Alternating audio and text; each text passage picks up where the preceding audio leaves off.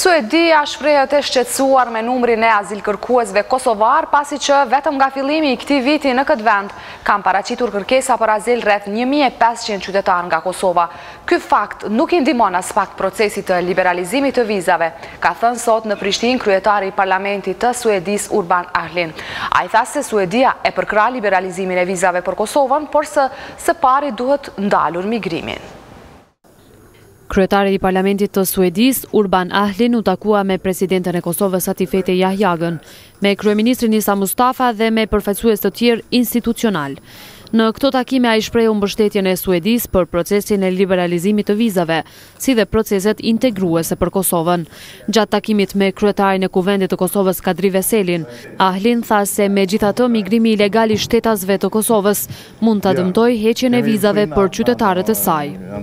As you are fully aware of, Sweden is one of the countries that is very much in favor of a visa liberalization process. Suedia dëshiron që gjithë popujve t'u ipet mundësia që të lëvizin lirshëm. Kemi parë që numri i azilkërkuesve nga Kosova në Suedi po rritet. Nga fillimi i këtij viti rreth një mijë e pesëqind qytetarë kosovarë kanë kërkuar azil në Suedi dhe ky fakt nuk i ndihmon procesit të liberalizimit të vizave pasi numri i personave që do të kërkojnë azil në momentin e liberalizimit të vizave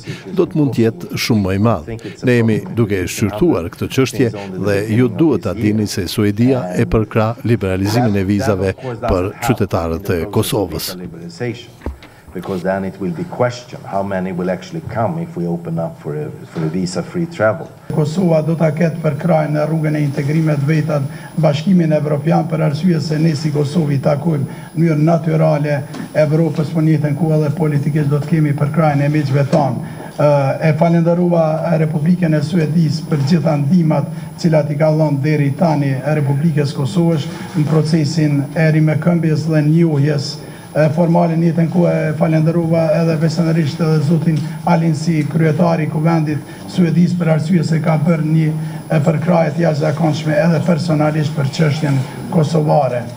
Kryeparlamentari suedez zhvilloi takime edhe me anëtarë të Komisionit Parlamentar për Punë të Jashtme dhe për Integrime Evropiane.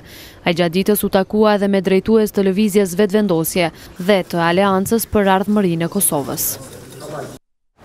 Jo të gjitha shtetet anëtare të BE-së përkrahin proceset integruese të Kosovës. Një vend siç është Spanja, e cila ende nuk e ka njohur Kosovën shtet, po refuzon nënshkrimin e Marrëveshjes së Stabilizim-Asociimit për Kosovën. Spanja po refuzon nënshkrimin e saj, përderisa në të përfshihet referenca ndaj Rezolutës dymbëdhjetë, dyzet e katër dhe i pozicionit të shteteve anëtare në raport me statusin e Kosovës. Qeveria spanjolle vazhdon të mbajë qëndrimin e saj për të mos njohur Republikën e Kosovës dhe sipas saj deklarimi i njëanshëm i pavarësisë së Kosovës e bën të pamundshme njohjen e saj nga Spanja.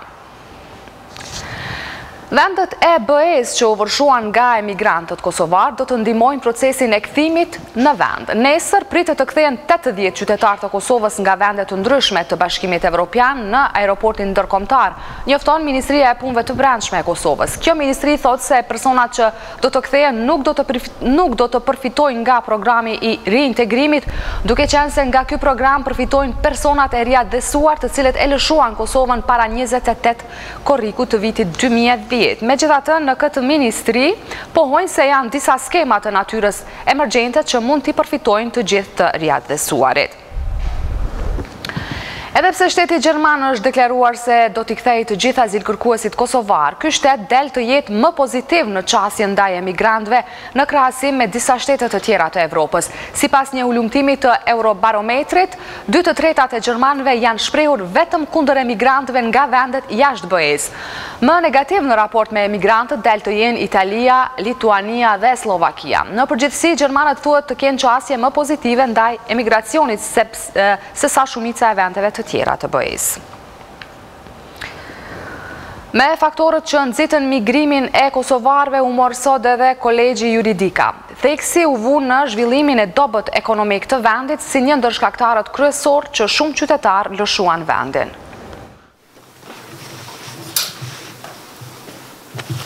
Këto pamje janë të disa javëve më parë, kur për një kohë shumë të shkurtër u rrit numri i kosovarëve që kalonin ilegalisht në vendet evropiane.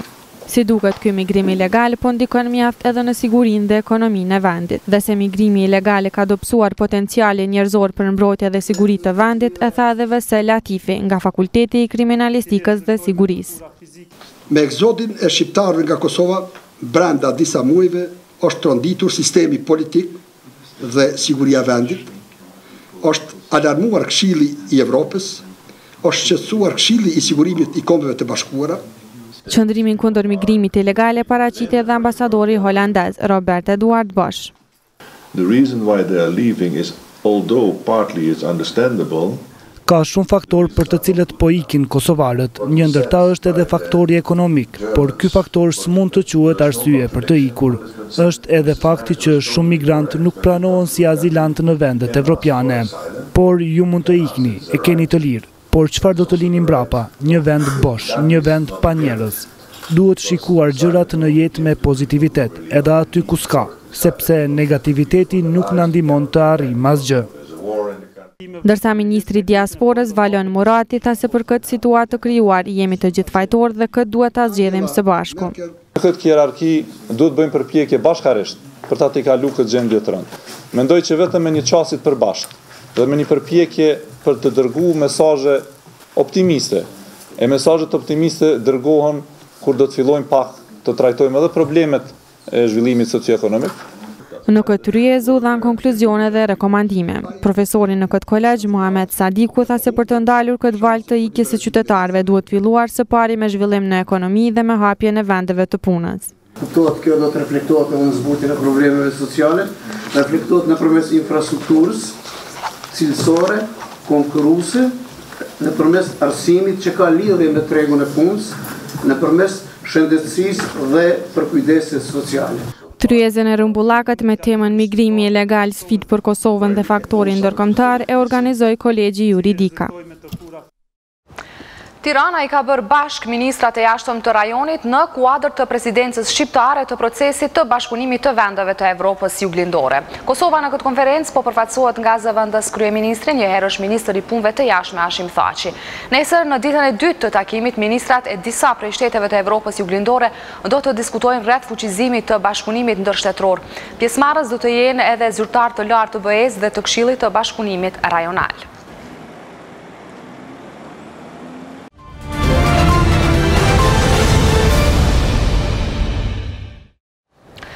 As në seancën e radhës së Kuvendit të Kosovës që do të mbahet të enjten, deputetët nuk do të diskutojnë për projektligjin për gjykatën speciale.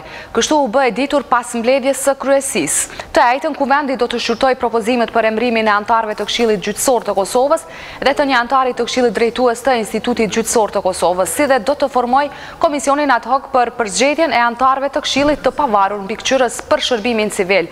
Po ashtu, në mbledhjen e Kryesisë u miratua kërkesa e grupit të grave deputete për mbajtjen e një seance të përbashkët me gratë deputete nga rajoni me rastin e tetë marsit. As në këtë mbledhje të Kryesisë nuk mori pjesë përfaqësuesi i Listës Serbe, subjekt ky i cili po i bojkoton institucionet e vendit që nga shkarkimi i ministrit Aleksandër Jabllanoviq. Udhëheqësit serbë të komunave me shumicë serbe, të cilët u zgjodhën sipas ligjeve të Kosovës, po kritikohen se njëkohësisht po punojnë edhe për shtetin serb. Kryetari i komunës së Kllokotit, Sreçko Spasiq, u akuzua nga paraardhësi i tij se ai aktualisht është edhe anëtar i organit të përkohshëm të komunës së Vitisë të emëruar sipas ligjeve të Serbisë. Spasiq ndërkaq kundërshton se është duke punuar për dy shtete.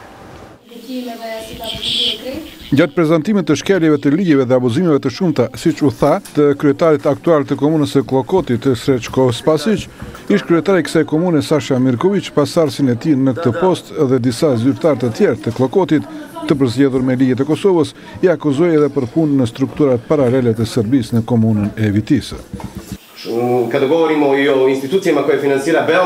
Kur flasim për institucionet të cilat financohen nga Republika e Serbisë dhe ato që financohen nga Qeveria e Kosovës, bëhet fjalë për persona të njëjtë që janë në të njëjtat funksione në të dyja sistemet. Kemi nënkryetarin e Kllokotit, i cili është në komunën e Vitisë, në sistemin e Qeverisë së Serbisë. Kemi drejtorin e financave, i cili njëherësh është edhe arkëtar në komunë paralele të Vitisë, të sistemit të Serbisë. Pra persona të njëjtë në dy funksione të njëjta dhe është e pakuptueshme se si fizikisht kjo realizohet. Pastaj, flasim për Sreçko Spasiqin, i cili është anëtar i organit të përkohshëm të Vitisë me sistemin e Beogradit dhe kryetar i komunës së Kllokotit sipas sistemit të Kosovës. Pra, njerëz të njëjtë. Sreçko Spasiq, kryetar i Komunës së Kllokotit, nuk i hedh poshtë këto akuza, duke thënë se nuk e kupton këtë se punon për dy shtete. Unë jam anëtar i organit të përkohshëm në Viti dhe nuk shoh se ka këtu ndonjë keqpërdorim. Ka pasur edhe më herët njerëz me dy rroga të dyfishta dhe pikërisht ata dhe më akuzojnë. Unë nuk mendoj se bëj shkelje të ligjeve të Kosovës, nëse jam edhe në atë organ. Nuk jam i sigurt për këtë, nëse bëj shkelje të ligjeve të Kosovës dhe kjo pres të zgjidhet në një nivel më të lartë. Dhe unë këtë nuk e kuptoj se punoj për dy shtete. Varet se si e kuptoni ju këtë. Unë punoj në institucionet e Kosovës dhe me ligjet e Kosovës. Këto kritika drejtuar Spasiqit Nuk ishin të vetmet që iu paraqitën nga ish drejtuesit e Komunës së Kllokotit si dhe disa këshilltarë aktualë të Asamblesë Komunale në këtë komunë gjatë një konference për media. Ata e akuzuan edhe për nepotizëm, punësim fiktiv dhe dyfishim të funksioneve, mosrespektim të ligjeve të pushtetit lokal, si dhe shpenzim jo racional të mjeteve të buxhetit komunal. Lidhur me këto gjetje, ata paralajmëruan edhe ndjekje gjyqësore. Ndërkaq Sreçko Spasiq hodhi poshtë këto akuza duke i adresuar po të njëjtat ish strukturave të Kllokotit dhe duke paralajmëruar kundërakuza për shpifje. Kthehemi edhe një herë çështjes së Gjykatës Speciale. Aleanca për Ardhmërinë e Kosovës nuk do të. përkrahë projektligjin për Gjykatën Speciale, pasi që, sipas saj, kjo gjykatë është e dëmshme për Kosovën. Pas mbledhjes së kryesisë së Kuvendit, shefja e grupit parlamentar të AAK-së, Donika Kadaj-Bujupi, tha se në Kosovë është Serbia ajo që ka bërë gjenocid e jo Kosova. Ndjekim deklaratën e Kadajt-Bujupit. Drafti i propozuar është më e keqja e cila mund t'i ndodhë Kosovës. Është një projektligj i cili absolut nuk lidhet me ligjet e Kosovës. Është një projektligj i cili do të ketë pasoja afatgjata për vendin. Aleanca për Ardhmërinë e Kosovës nuk do ta përkrahë, nuk do ta mbështesë. Do të kërkojmë që i njëjti të mos votohet në parlament sepse konsiderojmë që gjenocid në Kosovë ka bërë Sërbia dhe jo anasjelltas prandaj Aleanca do të votojë kundër dhe do të kërkojmë nga të gjithë deputetet që të votojnë kundër pavarësisht a janë në pozitë apo opozitë. Projektligji si është sjellë dhe substanca e tij absolut nuk guxon të aprovohet në Kuvendin e Republikës së Kosovës pavarësisht kërcënimeve se i njëjti mund të aprovohet në instanca të tjera. Zyrtar, Kryetari i Këshillit të Serbisë për Kosovën, Milovan Drecun, ka vlerësuar se Kosova nuk mund të ecën përpara nëse gjatë muajve të ardhshëm nuk e themelon Gjykatën Speciale. Sipas tij, ky institucion do të hetojë dhe do të ngritë akuza kundër atyre pjesëtarëve të UÇK-së të cilët kanë bërë krime ndaj popullatës civile kryesisht serbe, por edhe ndaj joshqiptarëve si dhe ndaj pjesëtarëve serbë të forcave të sigurisë. Drecun gjithashtu tha se paralajmërimi i zëvendës kryeministrit Hashim Thaçi se do ta akuzojë Serbinë për gjenocid është fyerje për viktimat serbe të luftës.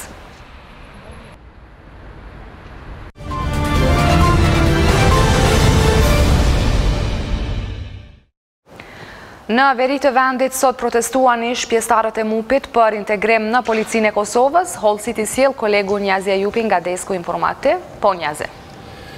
Po rreth 130 ish punonjës të Ministrisë së Punëve të Brendshme të Serbisë protestuan sot në veri të Mitrovicës. Kërkuan që menjëherë ose të bëhet integrimi i tyre në policinë e Kosovës, ose të kthehen në punë në MUP-in serb. Protestuesit njëherësh kërkuan nga Policia e Kosovës sqarim se për ç'arsye dymbëdhjetë ish-pjesëtarë të MUP-it serb nuk i kanë plotësuar kushtet për t'u integruar në Policinë e Kosovës. Përfaqësuesi i të njëqind e tridhjetë ish-pjesëtarëve të MUP-it serb, Rajko Shekullarac tha se kjo protestë është vetëm një paralajmërim dhe se presin përgjigje deri më një mars e pastaj nëse kërkesat e tyre nuk realizohen siç tha mund të radikalizohen protestat e tyre. Kërkesat iu dërguan siç thanë Policisë së Kosovës, MUP-it të Serbisë, kryeshefit të drejtorisë koordinuese Sllavisha Arsenijeviq dhe drejtorit të Zyrës për Kosovën në Qeverinë e Serbisë, Marko Gjuriq. Rreth njëqind e tridhjetë punonjës të Ministrisë së Punëve të Brendshme të Serbisë në veri të Mitrovicës u pushuan në.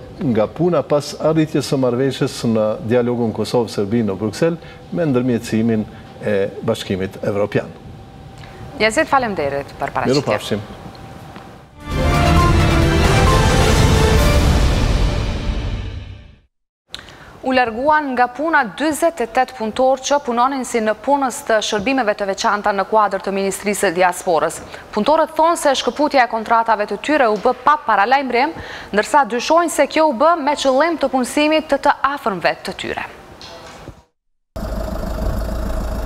Mentor Borovci nga fshati Lismir i Fushë Kosovës, ishte i vetmi i punësuar në familjen e tij pesanëtarëshe. Atij para pak ditësh përmes telefonit, pa ndonjë sqarim, iu kumtua shkëputja e kontratës së punës nga Ministria e Diasporës, ku punonte si shërbyes civil për regjistrimin e qytetarëve shqiptarë nga mërgata. Ai konsideron se iu bë e padrejtë e madhe pasi siç thotë, u tregua i suksesshëm dhe kishte kontratë njëvjeçare pune. Ende pa u bërë një vit, në muajin e nëntë na kanë thirrë përmes telefonit, asnjë shkresë zyrtare ose naj email ose naj sen, përmes telefonit na kanë informu që na kena vendos, gjithsesi ka vendos, ushtruesi i detyrës të Ministrisë Sekretarit Përgjithshëm të Ministrisë së Diasporës, Mentor Borovci, që ka vendos për me bo shkputjen e kontratave të zyrtarëve komunal, pa asnjë arsye. Por nuk është vetëm Mentor Borovci të cilit iu shkëput kontrata në këtë mënyrë nga Ministria e Diasporës. Janë gjithsej dyzet e shtatë vetë që përmes telefonit, më tetëmbëdhjetë shkurt të këtij viti, morën informatën se më nuk do të jenë pjesë e kësaj ministrie. Mentor Borovci në emër të tij dhe kolegëve të tyre, kërkon sqarim për këtë veprim. Kemi dashur na të organizohemi dhe të shkojmë në ministri së bashku mirëpo kjo ka dështu pasi që shumica e zyrtarëve janë tërhjekur si pasojë e shpresës dhe premtimeve të ministrisë, Prap për m'u punësu prap. Në Ministrinë e Diasporës nga ana tjetër thonë se këtë vendim e morën me urdhër të Këshillit të Pavarur Mbikëqyrës të Shërbimit Civil të Kosovës. Sekretari i Përgjithshëm është obliguar që këtë rekomandim ta zbatojë në afat prej gjashtëdhjetë ditësh. Siç dihet, Shërbimi Civil e parasheh që të gjitha kontratat për marrëveshje të veçanta të bëhen me një konkurs të thjeshtësuar, si dhe ato të mos të jenë në kohëzgjatje më shumë se gjashtë muaj, gjë që nuk ka ndodhur me disa, me shumicën nga këta të punësuar që kanë qenë të angazhuar si zyrtarë komunalë për hartimin e regjistrit të diasporës dhe mërgatës, prandaj edhe sekretari për të zbatuar këtë rekomandim apo urdhëresë të Këshillit të Pavarur Mbikëqyrës të Shërbimit Civil të Kosovës, ka nxjerrë vendim për anulimin e këtyre kontratave mbi për marrëveshje të veçanta. Ministria e Diasporës do të hapë sërish konkurs për shërbime të tilla, ku do të kenë mundësi të pranohen edhe të njëjtit sërish në punë. Përvoja e tyre dhe puna e tyre që e kanë bërë deri tash është e mirëseardhur dhe besoj që edhe Konkursi që do të hapet, jam i bindur që do të jetë fer dhe transparent dhe të gjithë do të përzgjidhen në bazë të meritave të tyre dhe njohurive që i kanë mbi procesin. Por Mentor Borovci dyshon që largimi i tyre nga puna u bë me tjetër qëllim. Thotë se e kanë kurdisur këtë punë për të punësuar të afërmit e vet.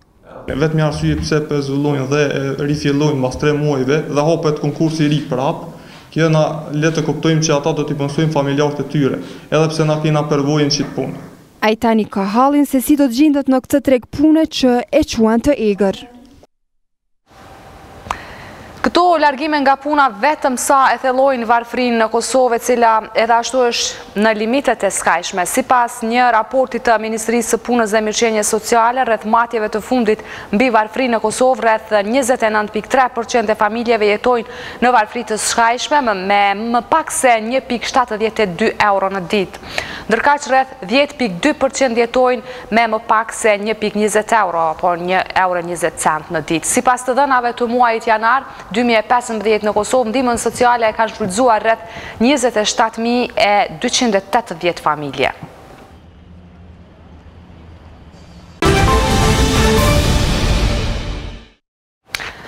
Tani ndalemi në një çështje tjetër problemore e cila së fundmi u aktualizua në media. Fjala është për dyshimet që janë ngritur rreth cilësisë së miellit që importohet në Kosovë nga Serbia i cili thuhet se është pa vlera ushqyese. Për këtë temë, kolegja Liridona Xhemajli ka zhvilluar një bisedë me zëdhënësin e Agjensisë së Ushqimit dhe Veterinës Lamir Thaçin. Ta ndjekim bashkë. Pas skandalit që shpërtheu lidhur me importim të grurit me afat të skaduar nga Serbia, ju si agjensi për veterinari dhe ushqim, thatë që cilësia e grurit në konferencën e fundit e dhatë këtë mendim, ka qenë e mirë deri atëherë. Pse nëse ka qenë një cilësi e mirë deri atëherë, do duhej që mostrat të dërgohen për analizë në Bashkimin Evropian? Fillimisht për neve nuk konsiderohet si skandal, sepse nuk ka ardhë asnjë dokument që argumenton për të pasur dyshim në sigurinë e grurit që importohet në Kosovë, nga çdokush që importohet apo nga secili vend që importohet, ne jemi ai organi kompetent, autoriteti më i lartë që duhet të garantojmë siguri për secilin produkt, që hyn në Kosovë, jemi garantues për sigurinë edhe të grurit në këtë rast dhe nuk ekziston asnjë dokument deri me tani, sepse kjo temë është folur edhe para disa muaj, nuk nuk ekziston asnjë dëshmi që e vën në dyshim sigurinë e grurit që importohet në Kosovë. Tani ka ardhë një kërkesë nga kryeministri dhe sigurisht që është autoriteti më i lartë dhe ne gjithmonë duhet të zbatojmë secilën kërkesë apo urdhër që vjen nga ai. Do të zbatohet edhe ky, varësisht nga kërkesa e tinaj, do të caktohet një komision, kështu është kërkuar dhe ai komision do të marrë mostrat dhe do të dërgohen mostrat në laboratoret jashtë vendit, në laboratore referente të akredituara. dhe do të konfirmohet se siguria e produktit është siç kërkohet në bazë të limiteve dhe parametrave apo jo. A mund të na japni një afat të caktuar se kur do të bëhet krijimi i këtij komisioni dhe kur në fakt do të merren analizat për dërgim jashtë vendit? Ne si autoritet do ta caktojmë një inspektor kompetent në këtë komision, ndërsa anëtarët tjerë do të caktohen nga Zyra e Kryeministrit dhe kushdo që të caktohet për neve do të jenë të pranuar dhe bashkërisht me ta ose edhe nën vëzhgimin e tyre do të merren mostrat varësisht ku ata kërkojnë a do të merren mostrat nga ngarkesat që do të vijnë në importet në kufi apo do të testohen do të merren mostra edhe në depot e mullinjve brenda vendit kudo që përcaktohet, ne jemi të hapur, do t'i marrim mostrat, do t'i dërgojmë në laboratorë jashtë vendit. Se kur do të kthehen rezultatet, nuk do të varet nga ky komision. Rezultati i analizave varet nga laboratori ku do të dërgohen, sepse varet edhe nga parametrat që do të testohen dhe disa parametra ndoshta edhe kërkojnë kohë dhe ne nuk mund të japim dot. Po si e komentoni ju këtë kërkesë të kryeministrit që mostrat dhe domethënë marrja e mostra fillimisht nga ju dhe pastaj dërgimi i analizave jashtë vendit të bëhet t'i besohet, siç ka thënë ai, një instituti kredibil të BE-së. A e vë në dyshim kjo besimin në Agjencinë e Veterinës dhe Ushqimit dhe në përgjithësi në këto institutet tona që i kemi? Fillimisht dua t'ju tregoj gjithëve se Agjencia e Ushqimit dhe Veterinarisë gjendet direkt nën zyrën e kryeministrit dhe kryeministri i bie që të jetë njeriu kryesor. i autoritetit, sepse ne gjithmonë punojmë nën direktivat e zyrës së tij. Kryeministri ka të drejtë në çdo rast që të kërkojë në çfarëdo forme, në çfarëdo dyshimi që të paraqitet, të kërkojë që të konfirmohet.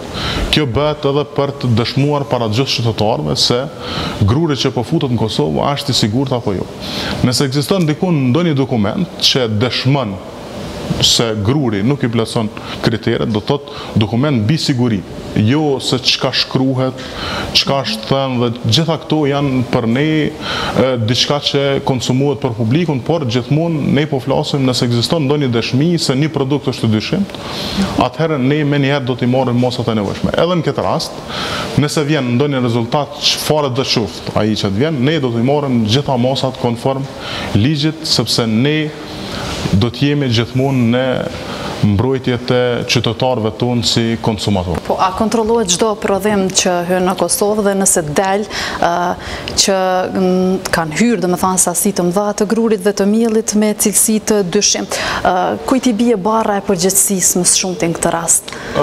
Fillimisht po ju them se gjitha ngarkesat, mos njëqind për qind, kontrollohen nga inspektorët kompetent.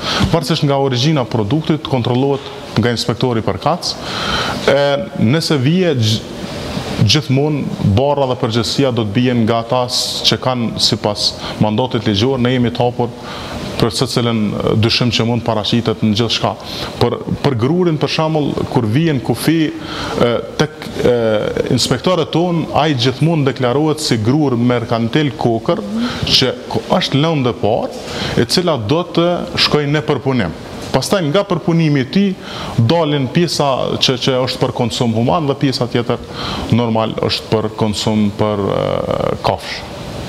Po, kur pritet që ky proces rreth dyshimeve të cilësisë të miellit të përfundojë një herë mirë dhe t'i sqarohet opinionit rreth këtij dyshimi. Në fakt, thatë që nuk ka një afat të caktuar, por prap po këmbëngul sa mund zgjasë, zakonisht në bazë dhe të proceseve të tjera, ndoshta të përafërta me këtë. Besoj sot nesër do të emërohen anëtarët e komisionit nga nga zyra e kryeministrit, do t'i presim ata emra dhe.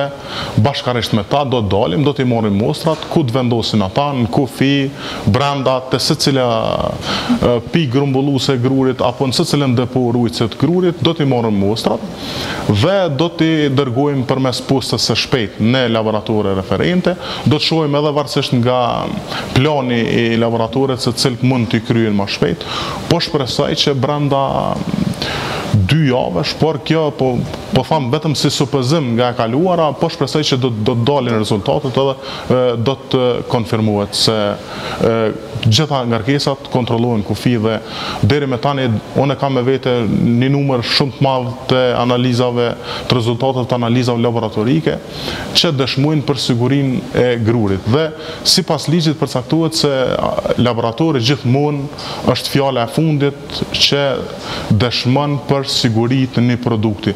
Dhe ne gjithmonë punojmë në bazë të rezultateve të analizave. Nëse këto rezultate nuk janë në rregull, atëherë nuk bie sigurisht faji te ne se ne këto mostra i dërgojmë në laborator. Okej, ju faleminderit shumë. Faleminderit dhe nga ju.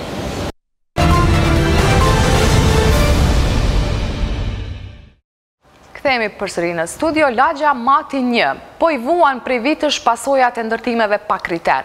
Këto ndërtime kanë dëmtuar edhe rrjetin e kanalizimit dhe për pasojë banorët po përballën me një kundërmim të rëndë të erës.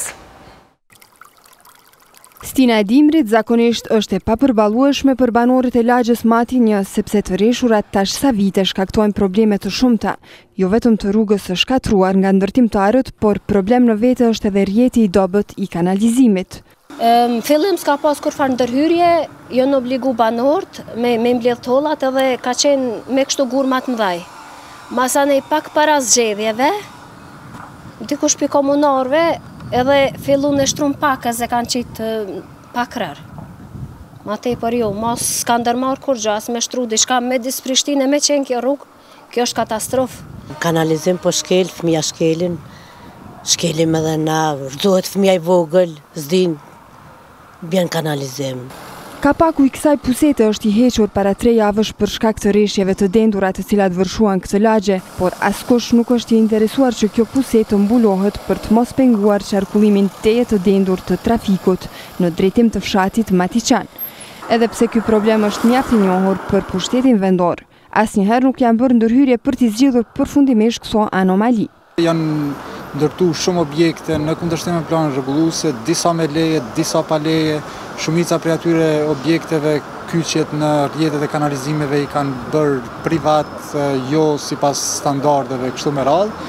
Edhe komuna nuk është interesu shumë më përpara në mënyrë që të investojë paralelisht me rregullimin e atyre objekteve edhe në infrastrukturën përcjellëse. Lagja Mati një njihet si më problematikja për ndërtime jashtë normave të planifikimit dhe deri në rregullimin e infrastrukturës në këtë pjesë të re të kryeqytetit, do të duhen shumë kohë. Nga Mati një shkojmë në Stantërg, ku po zhvillohen aktivitetet e javës së minatorëve. Minatorët sot kujtuan e nderuan dëshmorët dhe bënë homazhe pranë varrezave të tyre. Në ditën e tretë të javës së minatorit, menaxhmenti dhe Sindikata e Minatorëve të Trepçës vunë kurora me lule në varrezat e dëshmorëve. Bënë nderime edhe te varri i presidentit Ibrahim Rugova. Menaxheri i Trepçës, Ahmet Tmava tha se java e minatorit e ka kuptimin e javës së sakrificës. Minatorët çdo herë janë mirënjohës dhe mendojmë që edhe rrugëtimi dhe epopeja e minatorëve dhe të gjitha të bërat të cilat kanë ndodhur rreth minatorëve, rreth Trepçës, kanë qenë të lidhura dhe të ndihmuara prej këtyre personaliteteve dhe këta personalitete pastaj kanë kurorëzu atë që ka qenë edhe kërkesë fillimisht e minatorëve. Ndërsa kryetari i Sindikatës së Pavarur të Minatorëve, Nezer Behrami, u shpreh se është e rëndësishme të nderohen dhe të çmohen varret e atyre që e flijuan jetën për vendin tonë. Për çdo vit bajmë homazhe te dëshmorët e kombit edhe te njerëz që e kanë meritu. Është e rëndësishme sepse falë gjakut të tyre dhe falë sakrificës së tyre ne e gëzojmë këtë liri që tash e kemi. Prandaj edhe i nderojmë për këtë që kanë dhënë për këtë liri dhe për këtë shtet. Aktivitete për javën e minatorit do të ketë deri në ditën e fundit të muajit shkurt.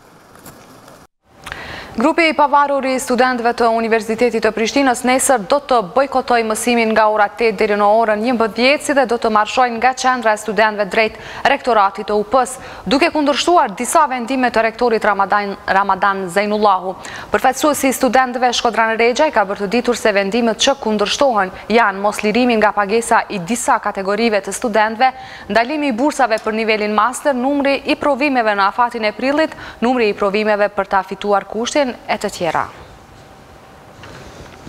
Kryetarja e Gjakovës, Mimoza Kusari Lila, ishte sot nikoqire e të parës së komunës së Tetovës Teuta Arifi. Dy udhëheqëset komunale diskutuan për thellimin e bashkëpunimit ndërmjet Gjakovës e Tetovës. Fillimisht gazetarët shfaqën interesimin e tyre për qëndrimin e Bashkimit Demokratik për Integrim, subjektit politik të të cilit i takon zonja Arifi, lidhur me aferën e përgjimeve në Maqedoni. Në shtet ka një periudhë jashtëzakonisht të ndjeshme në raportet politike. Bashkimi Demokratik për Integrim që kur në të gjitha koalicionimet qeverisëse ka hyrë me platformë dhe me mbështetjen dhe vullnetin e votës shqiptare, siç ka qenë edhe në rastin e fundit. Normalisht që ne jemi duke i analizuar të gjitha rrethanat, rrethanat e veprimit tonë politik dhe normalisht që do sillemi sipas ndjeshmërisë së situatës ashtu si një subjekt serioz. Përndryshe, gjatë takimit me kryetaren e Gjakovës, Mimoza Kusari Lila ranë dakord për intensifikimin e një bashkëpunimi në projekte konkrete. Jam e kënaqur që Tetova ka bërë vendimin e mençur dhe ne kemi qenë, do të thotë, bashkëpunëtore në disa rrafshe. Tashmë jemi në pozitat e njëjta, me dy komuna me rëndësi të veçantë në Kosovë dhe në Maqedoni, edhe Tetova dhe Gjakova kanë rol të veçantë në shtetet e tyre, dhe e shohim si tepër të rëndësishme domosdoshmërinë e një intensifikimi të bashkëpunimit në projekte konkrete. Jam jashtëzakonisht e kënaqur që ne sot ramë dakord që menjëherë të fillojmë një program operativ të bashkëpunimit ndërmjet komunave të Gjakovës dhe të Tetovës, Ai program nënkupton në radhë të parë prezantimin kulturor dhe ekonomik të dy qyteteve, që do t'u bënte dhe do t'u jepte mundësi punëtorëve të kulturës dhe bizneseve nga këto dy qytete të shtrijnë veprimtaritë e tyre në këto dy vende. Pas diskutimeve për çështje të ndryshme, të dyja gratë udhëheqëse të komunave Tetovë dhe Gjakovë vizituan Muzeun Etnografik të Gjakovës, me ç'rast, E para e Komunës së Tetovës u njoftua me trashëgiminë kulturore dhe historike të këtij qyteti.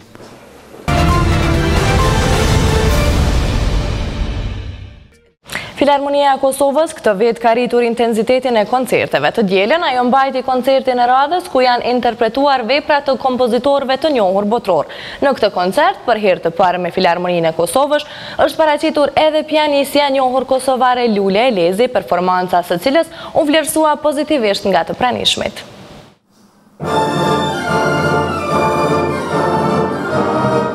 Në koncertin e mbajtur në Sallën e Kuqe të Pallatit të Rinisë në Prishtinë, Filharmonia e Kosovës interpretoi veprën Koncerti i Pestë i Ludovic van Beethoven, uverturën Poet dhe Fshatar të Franz Supe si dhe Simfoninë e Katërt të Felix Mendelssohn. E veçanta e kësaj mbrëmje ishte performanca e parë e pianistes së njohur kosovare Lule Elezit me Filharmoninë e Kosovës. Sipas Elezit ishte një eksperiencë shumë e mirë bashkëpunimi me Orkestrën Simfonike të Kosovës.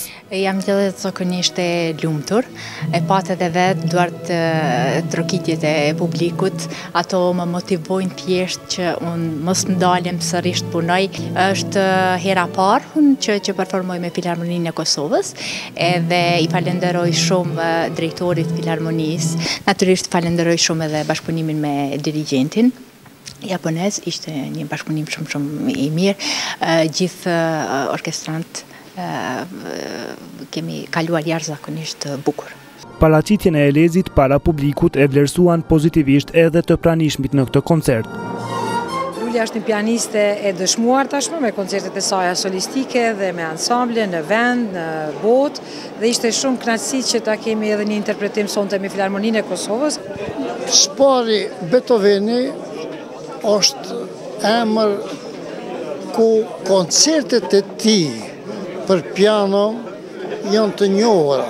Sonte e patëm një interpretim të mrekullueshëm të Lule Elezit. Përderisa drejtori i Filarmonisë së Kosovës, Baki Jashari, thotë se ky institucion do të përpiqet që gjatë tërë vitit të organizojë dy koncerte në muaj. Me këtë koncert të sontëm po i realizon dy koncerte në muajin shkurt dhe e njëjta do të ndodhë edhe në mars dhe besoj që me këtë dinamikë do të vazhdojmë edhe në muajt në vazhdim. Pra praktikisht kemi fillu me një dinamikë prej dy koncerteve në muaj. Koncerti i së dielës i Filharmonisë së Kosovës u dirigjua nga japonezi Toshio Yanagisawa.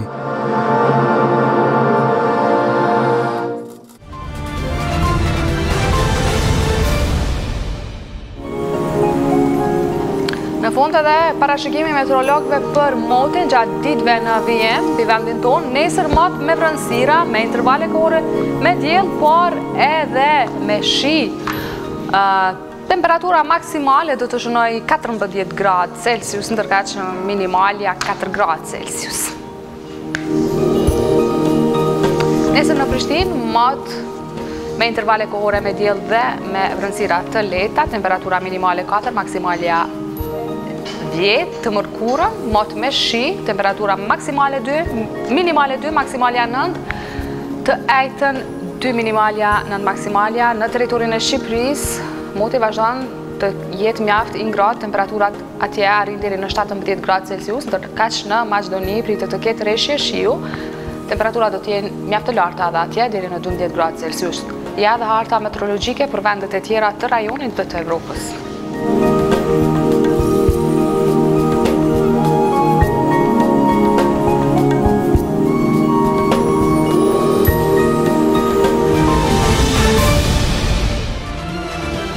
Ishte kjo magazina informative 21 Live News. Faleminderit që ndoqët programin tonë.